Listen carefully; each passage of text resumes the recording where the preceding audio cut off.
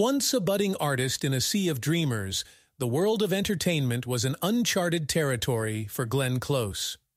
Her journey began on the eastern seaboard, a small town girl with big city dreams. Struggles were inevitable, doubts plentiful, but armed with grit and determination, Close began to create waves in the vast ocean of show business. Rather than deterring her, each roadblock only emboldened her resolve.